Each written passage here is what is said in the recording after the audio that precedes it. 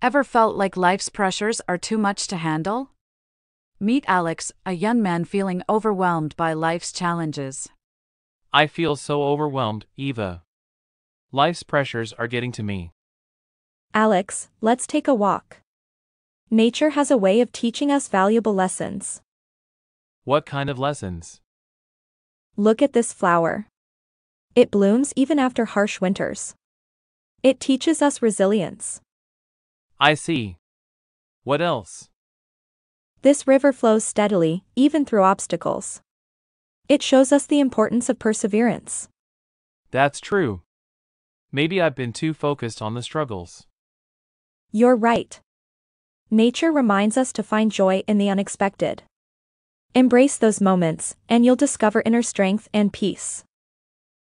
Embrace the unexpected joys in life.